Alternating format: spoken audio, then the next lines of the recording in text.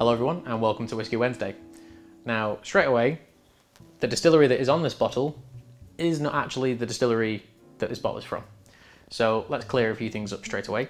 Um, this was purchased off Scotch Whisky Auctions for £25 and any of you that do watch auctions, I encourage you to scroll to the very last page and just see all these unusual blends and miniatures which aren't particularly expensive and they're kind of cool bits of whiskey history. This one in particular is a nice bit of rivalry between two companies. So the Glengyle Distillery is in Campbeltown, but they sell whiskey under the name Kilkerran. So for all of you that are Campbeltown fans, be it Springbank or Glen Scotia or Kilkerran, um, Kilkerran is owned by the same people that own Springbank, uh, J.A. Smith family, I believe it is if I get that wrong, you're all going to murder me in this comment section, but I'm pretty sure it's J.A. Smith.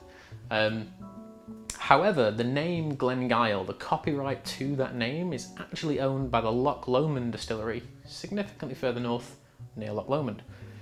So, the fact that it says Glengyle 8 year old makes me think it can only really be approved by one company, which makes me think it probably is Loch Lomond content in here.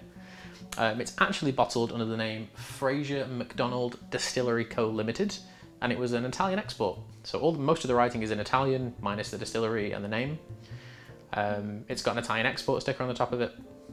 It's 40% alcohol. There is a very small bit of print which indicates that it might be 40%. And I assume this was bottled either 89 or 1990 from a bit of research I've been able to do on the internet. It's probably not natural colour, it's definitely chill filtered, but it is an eight year old. Um, it doesn't say single malt on the bottle anywhere, as far as I'm aware. It just says 100% Scotch malt whiskey. so it could be a vatting of numerous different products that Loch Lomond make within one place, although I suppose technically that would still be classed as a single malt whiskey. Um, I'm unsure what Loch Lomond owned at the time, so they could have sourced stuff from elsewhere. N numerous rule changes over the years have mean the definitions have altered. Not everything's not as black and white as it is now. Things were very different back then. So it it may not be a single malt. It could be sourced from one distillery, but with different distillates or numerous different distilleries. We just don't know. Um, so this is one of our more unusual reviews because it's just a cool bit of affordable history with a little spat between two companies. I think Springbank tried to buy the Glengyle name back off Loch Lomond in 2002. Loch Lomond said no, um, so Glengyle operates under Kilkerran now. So it's a bit deceptive, this whole name. But let's smell it, let's taste it. Uh, let's see what 25 quid can buy you from a whiskey that was bottled about 30-ish years ago.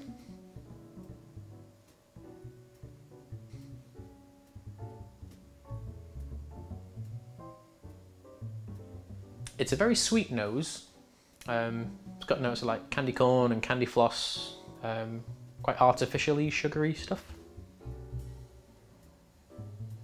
Loads of powdered sugar, like powdered almonds, sugared almonds, all those kind of flavours.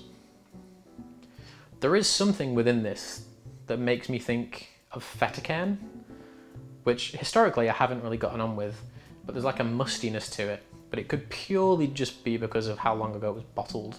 When I actually screwed the uh, screwed the top off, the cardboard insert, which normally sticks to the top of the lid, had actually fallen and sealed the bottle. So it was only when I popped that you got the sound. Um, so I've no idea how it's been stored. The labels are very tired up top. Um, so something could have happened to it. It could have been stored in the wrong conditions. But there is a mustiness to the smell, along with those very kind of artificial sweet notes. But yeah, loads of nuts, powdered sugar. Quite typical. I always think of Loch Lomond as kind of like a ginger spice flavour. Uh, certainly a smell. And there is a tiny bit of that oriental gingery thing in the background. Uh, but not enough to make me definitely say it's Loch Lomond. But let's see what's happening with the taste.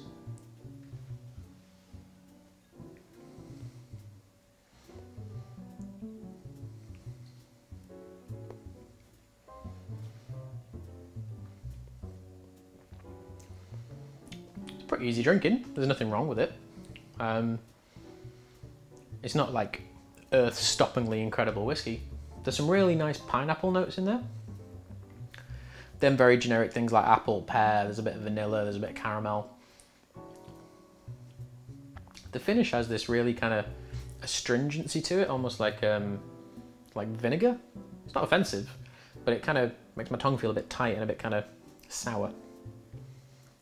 Again, could just be to amount of time it's spent in a bottle.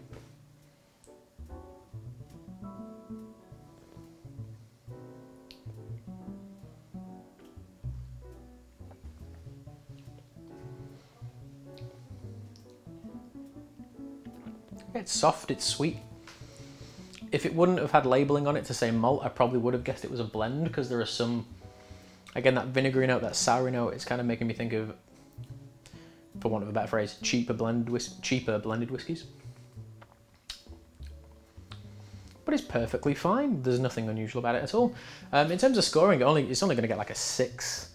Uh, it's not like really impressive whiskey, but it's just something affordable that I can have at home and reference for other stuff that's bottled in this era trying to do that now because it's nice to build up a collection of older bottlings that aren't expensive, which you can do on auction sites. They do have their benefits. You can get some really serious bargains on an auction site. Um, yeah, this is the Glengyle, which isn't a Glengyle, which is actually possibly from Loch Lomond, but reminds me a little bit of Fettercairn. Um, either way, we definitely know it's not from the Campbeltown area. It does say Highland on the front of it, so that was kind of a big indicator straight away. Um, but yeah, Glengyle, eight-year-old, probably bottled in 89 or 90. 6 out of 10, pretty easy drinking. This wasn't going to be a really in-depth video, it's just something kind of cool you can pick up on auctions. Encourage you to all to do it as long as you don't kind of break your wallet in half. Um, but yeah, thank you all for watching and we'll see you next week. Cheers.